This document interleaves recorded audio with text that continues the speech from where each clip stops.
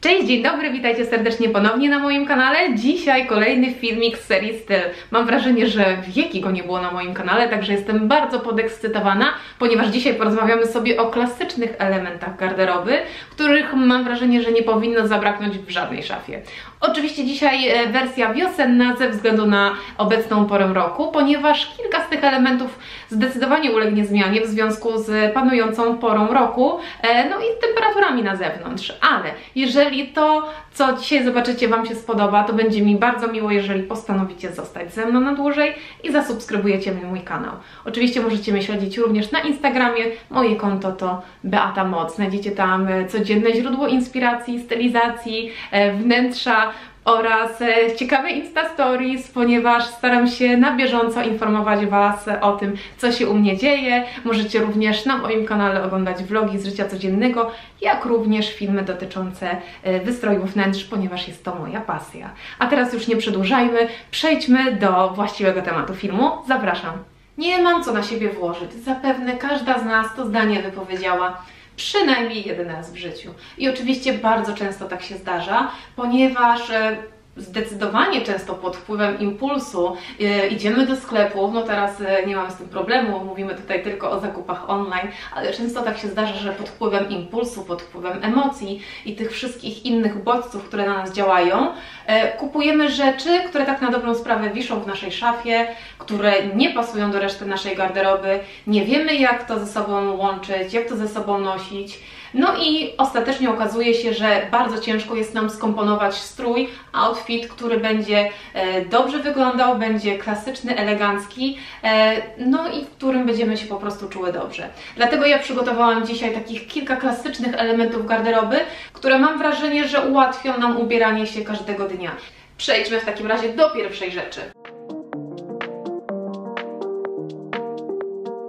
Oczywiście nikogo tutaj nie zdziwię. Wszyscy, którzy oglądają mój kanał, to wiedzą, że powiem tutaj na pewno o białej koszuli. I oczywiście ja tutaj mam przed sobą klasyczną białą koszulę zapinaną na guziczki, taliowaną, wykonaną z bawełny, mm, w której po prostu nasza skóra oddycha e, i czujemy się komfortowo i swobodnie. To chciałam Wam powiedzieć, że taka biała koszula wcale nie musi być nudna. To nie musi być tak idealnie skrojona koszula.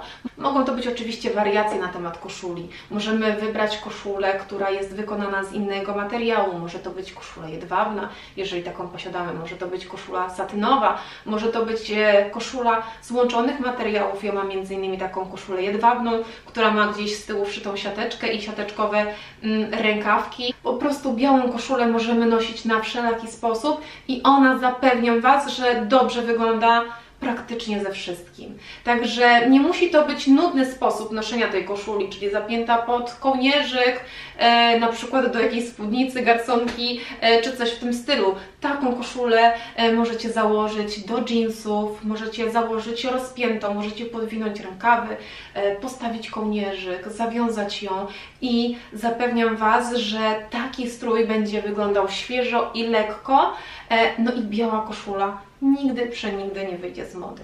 Także jeżeli do tej pory dziewczyny myślałyście, że taka koszula jest tylko i wyłącznie do pracy w biurze, albo gdzieś na spotkania formalne, albo na przykład na egzamin, to teraz chciałabym Wam powiedzieć, że wcale tak nie musi być i pokazać Wam kilka stylizacji przy użyciu białej koszuli, które mogą być naprawdę bardzo ciekawe i które tak na dobrą sprawę są modne przez cały czas. One nie wychodzą z mody, one się nie nudzą, e, po prostu wystarczy ją wystylizować na swój własny sposób, dobrać do własnego stylu, no i e, mam wrażenie, że każdy wygląda w takiej koszuli dobrze.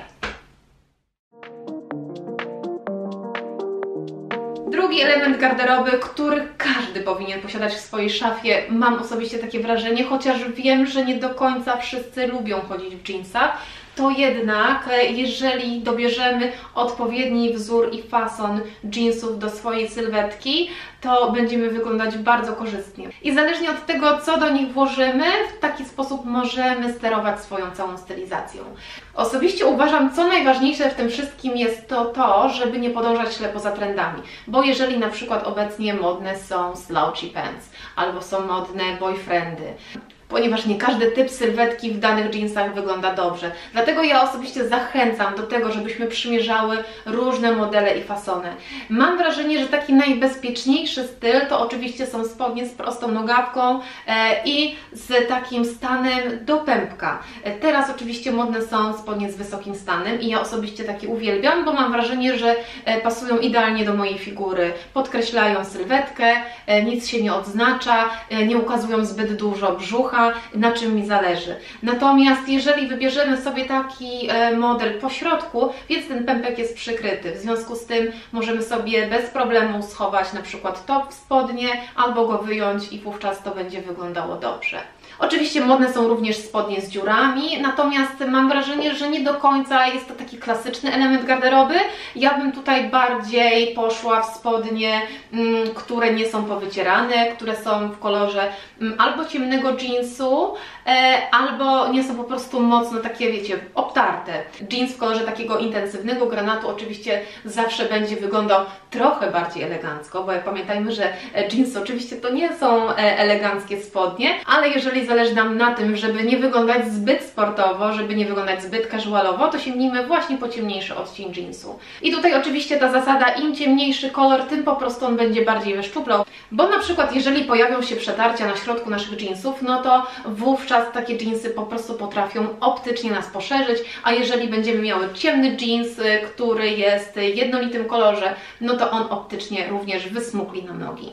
Także takie jeansy możemy łączyć z marynarką, z białą koszulą, stopem na ramionczkach, po prostu ze wszystkim. Jeżeli założymy do tego e, sportowe obuwie, no to wiadomo mamy casual chic e, i na przykład marynarka do tego. Ale takie jeansy możemy również e, założyć do szpilek, założyć marynarkę, ładna elegancka torebka i wówczas mamy już fajny look do wyjścia wieczorem. Także oczywiście dziewczyny zachęcam Was do noszenia jeansów, ale pamiętajmy o tym, żebyśmy dobrze wybrały sobie odpowiedni model.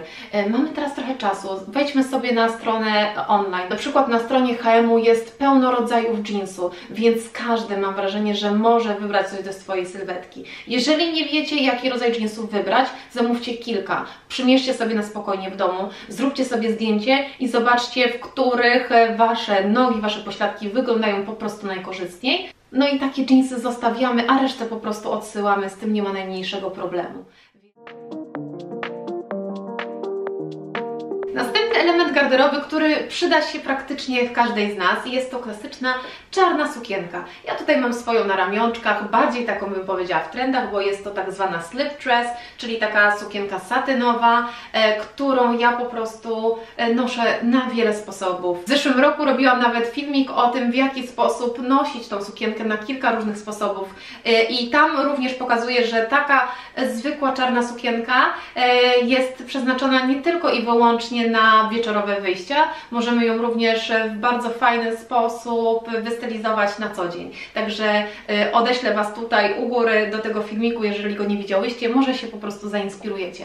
Ale oczywiście może to być taka czarna sukienka wykonana z satyny, ale może to być również sukienka, e, która jest wykonana z bawełny, która jest bardziej obcisła. I ponownie tutaj apeluję do tego, żebyśmy dobrały odpowiednią długość do Waszej sylwetki, do Waszej figury oraz do tego, w czym czujemy się dobrze. Także jeżeli zdarzy się tak, że musimy gdzieś wyjść, ale nie mamy pomysłu, co na siebie włożyć, to taka sukienka zawsze sprawdzi się e, idealnie. Zarzucamy tylko sukienkę, dobieramy dodatki, odpowiednią marynarkę, odpowiedni żakiet, odpowiednią kurtkę, odpowiednią apaszkę, e, kolczyki, biżuterię e, i buty i mamy gotową stylizację, więc tutaj możemy się bawić, a czarny klasyk po prostu nigdy nie wyjdzie z mody. Oczywiście możecie tak jak ja w ten sposób się pobawić, że czarną sukienkę po prostu e, kupić taką, jaka jest w trendach. Ale jeżeli kupimy klasyczną bawełnianą sukienkę, no to ona po prostu będzie nam służyła przez wiele lat. Wybaczcie, właśnie się rozpadało i słyszę kapiący deszcz, więc mam nadzieję, że nie będzie Wam tutaj zbytnio e, zakłócał e, głosu. W takim razie kontynuujmy. Kolejny element garderoby i mam wrażenie, że on jest typowo przeznaczony na okres właśnie wiosenno-letni. Mowa tutaj o klasycznych beżowych spodniach. Oczywiście mogą to być znowu chinosy, mogą to być spodnie lniane, mogą to być spodnie szerokie, mogą to być spodnie slouchy. Tutaj to ponownie zależy od tego, jaką macie figurę. Ja mam osobiście takie spodnie do kostki z wysokim stanem, troszeczkę luźniejsze, one bardzo fajnie podkreślają moją figurę e, i mi sprawdzają się idealnie.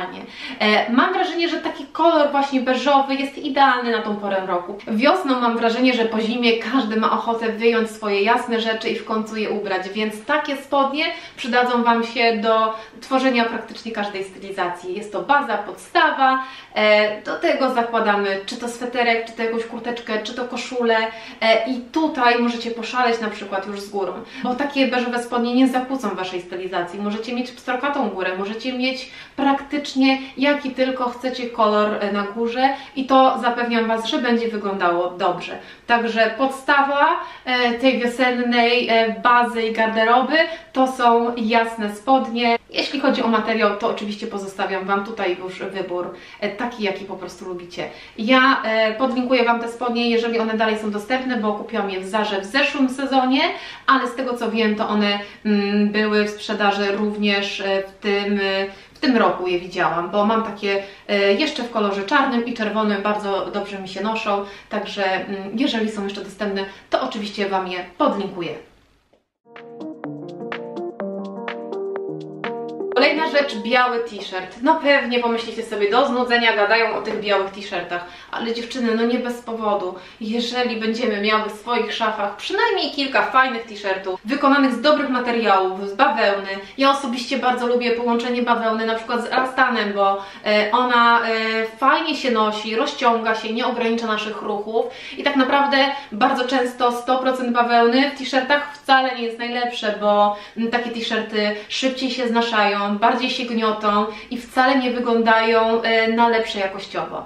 Mm, także ja osobiście, jeżeli szukam t-shirtów, to staram się znaleźć właśnie dodatek elastanu. Czasami nawet odrobina poliestru albo innej syntetycznej tkaniny e, kompletnie Wam nie zaszkodzi, a wręcz pomoże, ponieważ taki t-shirt wygląda na dużo lepszy jakościowo. On jest taki bardziej gładki, tak się nie gniecie e, i możecie go śmiało założyć pod na przykład jakąś marynarkę. E, możecie go sobie związać, możecie podwinąć rękawki. E, jest to taka baza praktycznie do wszystkiego. Czy narzucimy na to kurtkę jeansową, czy narzucimy na to ramoneskę, czy mamy rozpięty sweterek cardigan. Słuchajcie, opcji jest naprawdę bardzo dużo, więc zachęcam Was dla tych osób, które nie lubią, nie kupują białych t-shirtów, bo uważają, że to jest nuda, spróbujcie e, kupić sobie taki t-shirt, i połączcie go z czymkolwiek tylko macie w swojej garderobie i zapewniam Was, że będzie on wyglądał dobrze. Także ja zdecydowanie zachęcam do y, noszenia takich t-shirtów. E, zwróćcie również uwagę na odcień. Osobiście preferuję ciepłe odcienie mm, bieli. Nie przepadam za śnieżno-białymi y, t-shirtami. E, staram się szukać po prostu takich cieplejszych odcieni, bo po prostu one współgrają lepiej z moją skórą, ale to oczywiście ponownie e, wybór należy do Was, żebyście po prostu dobrały rzecz, która pasuje do Waszego typu urody. W porządku, mamy już bazę w postaci góry i dołu, a teraz chciałabym porozmawiać o okryciach wierzchnich, ponieważ e, tak naprawdę one potrafią nam zmienić całą stylizację. Bierzemy sobie albo beżowe spodnie, albo jeansy, białą koszulę i biały t-shirt. I teraz, zależnie od tego, co narzucimy na górę, to cała nasza stylizacja nabiera właściwego charakteru, na którym nam zależy. Czy wybieramy sobie casual chic, czy chcemy wyglądać elegancko, czy chcemy wyglądać klasycznie, to wszystko zależy od tego, co wybierzemy na górę, czyli tak zwanego trzeciego elementu garderoby. Ja staram się zawsze tego trzymać. Jeżeli ubieramy się, ubieramy e, spodnie, ubieramy top i ten trzeci element garderoby sprawia, że ta cała stylizacja jest kompletna. Więc teraz przyszykowałam sobie kilka takich propozycji na górę i zaczniemy od chyba od klasycznej kurtki jeansowej. Ja tutaj swoją mam z Zary, kupiłam ją chyba w zeszłym sezonie, postaram się znaleźć podobną, podlinkuję Wam e, w opisie filmu poniżej. E, przede wszystkim, co jest dla mnie ważne, że nie jest ona zbyt obcisła, ponieważ e, kilka lat temu jeszcze była moda na takie obcisłe kurtki, co mm, ja mam wrażenie, że troszeczkę ograniczało, ponieważ nie każdy wygląda w nich dobrze.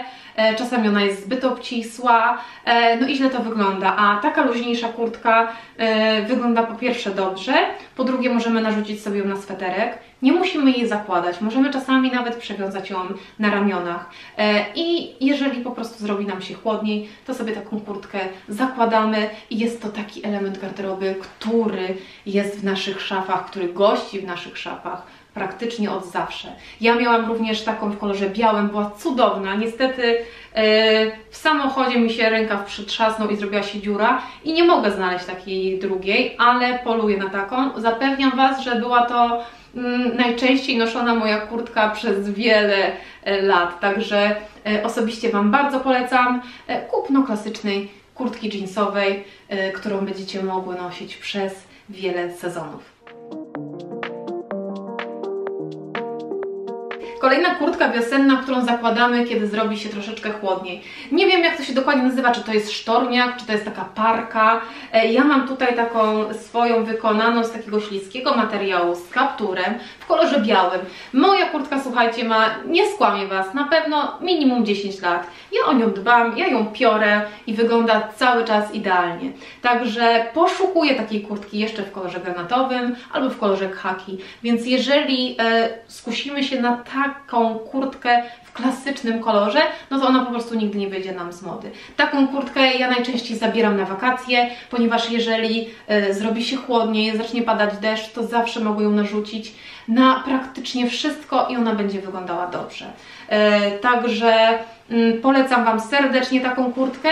Zwróćcie uwagę na to, żeby po prostu miała kaptur, bo jeżeli będzie padał deszcz, o rajoniu. Mam wrażenie, że piasek z niej wyleciał, bo ostatnio byliśmy nad morzem i właśnie miałam ją ze sobą.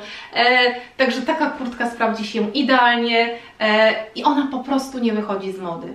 Także jeżeli uda mi się oczywiście coś znaleźć, to też będę linkowała.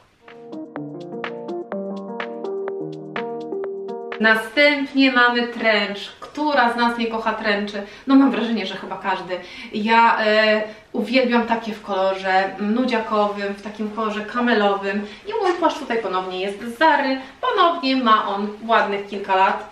E, nawet nie chcę mówić ile, bo okaże się po prostu, że jestem mega stara, e, ale nie o tym tutaj dzisiaj mówimy. W każdym razie ten płaszcz wybrałam w Zarze i kiedy go tylko zobaczyłam, na pierwszy rzut oka stwierdziłam, że on wygląda na taki dobry jakościowo, więc e, na to również zwróćcie uwagę, bo czasami, wiecie, te materiały, pomimo na przykład, że coś jest drugiego, to na pierwszy rzut oka widać, że on wygląda trochę tandetnie, trochę tanio, nie bójmy się tego słowa e, użyć, bo tu nie chodzi o to, ile za coś zapłacimy, tylko w jaki sposób to wygląda. Czy wygląda na dobre jakościowo, czy nie. A ten płaszcz zdecydowanie wygląda na, mm, na droższy niż jest po prostu w rzeczywistości. Także, e, także taki płaszcz jest to klasyk, który ponownie będzie nam służył przez wiele sezonów.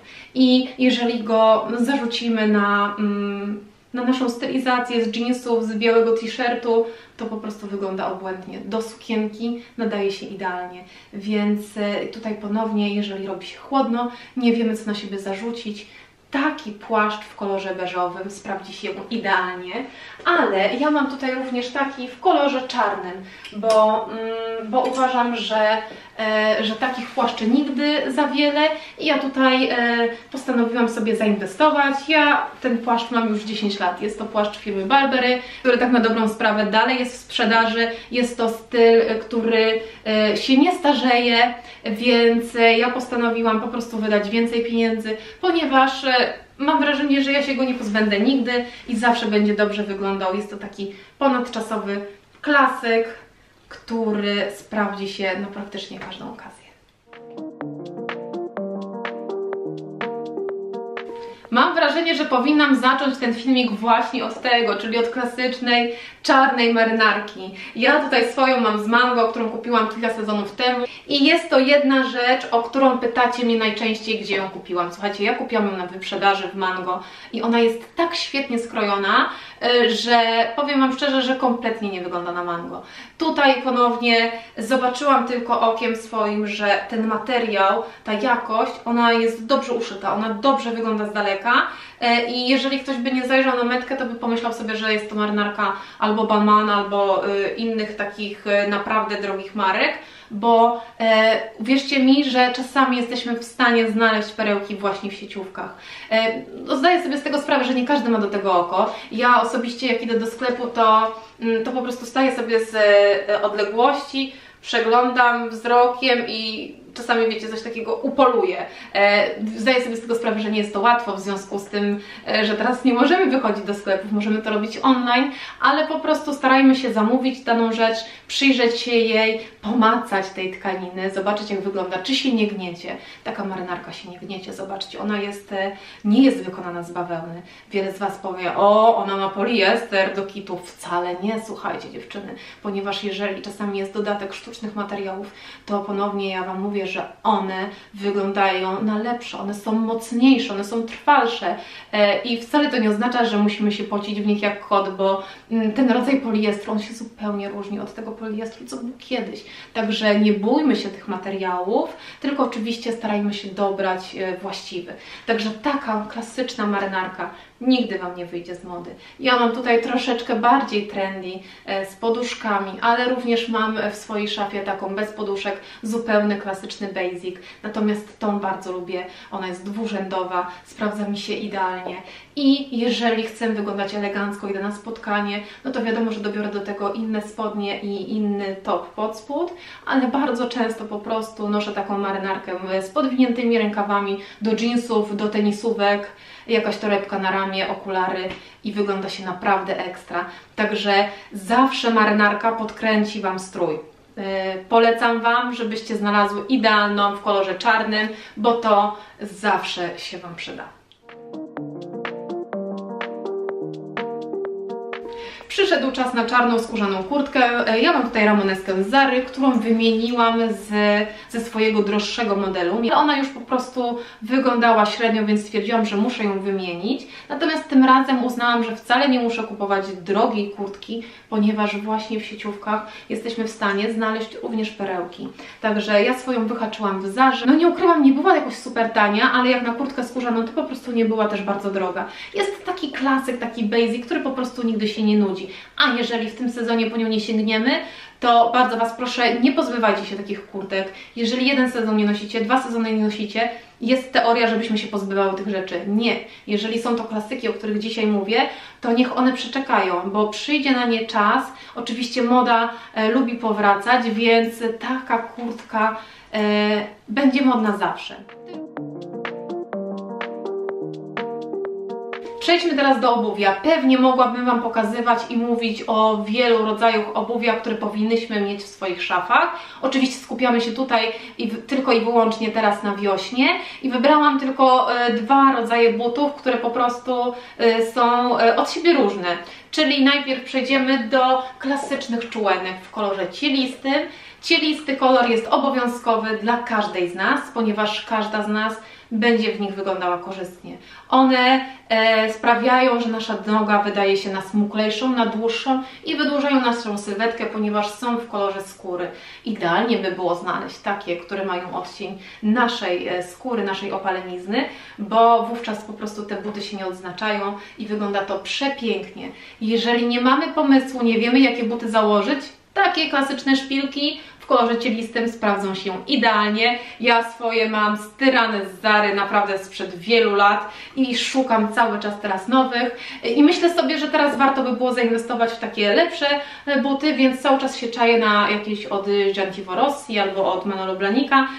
Natomiast jakoś na razie mi nie spieszno, bo po prostu nie wychodzimy z domu, ale te buty będę musiała upgrade'ować, bo po prostu są już troszeczkę powycierane. Tak często je nosiłam, więc e, oczywiście możemy sobie kupić buty w Zarze, bo jak widzicie moje buty przetrwały kilka ładnych lat. E, są piękne i przede wszystkim te buty z Zary są mega wygodne. I tak jak mówiłam, wybrałam skrajne buty, czyli eleganckie i sportowe. Chyba łańcuszek mi się odpiął. Ale dobra, kontynuujmy. Ja tutaj mam swoje obuwie sportowe. Tutaj są McQueeny, które są bardziej trochę trendy, e, ale e, nie mam innych pod ręką, więc pokazuję Wam te. To są klasyczne białe sneakersy, które wyglądają zawsze dobrze. Jeżeli tylko sobie je odpowiednio wyczyścimy, musimy oczywiście o nie dbać, bo mm, bo ja osobiście nie lubię w ogóle tej mody na brudne tenisówki, e, które zapoczątkowała Golden Goose. E, kompletnie jakoś to do mnie nie przemawia, chodzenie w brudnych trampkach. E, oczywiście rozumiem, że jest to moda, ale nie, nie, nie. Także ja osobiście dbam o to, żeby moje trampki były czyste i one wyglądają cudownie do jeansów, wyglądają fajnie do jakichś chinosów, wyglądają dobrze praktycznie do każdych spodni, ale również wyglądają dobrze z sukienkami. Także jeżeli nie macie w swojej szafie jeszcze e, białego obuwia sportowego, tenisówek, polecam Wam zdecydowanie Lacoste, Polecam Wam Adidas, e, Stan Smith oraz Adidas Superstar. Jest kilka takich modeli, które bardzo lubię, więc postaram się również Wam podlinkować w opisie filmu poniżej. To jest typowy must have w każdej szafie. E, dziewczyny, naprawdę warto.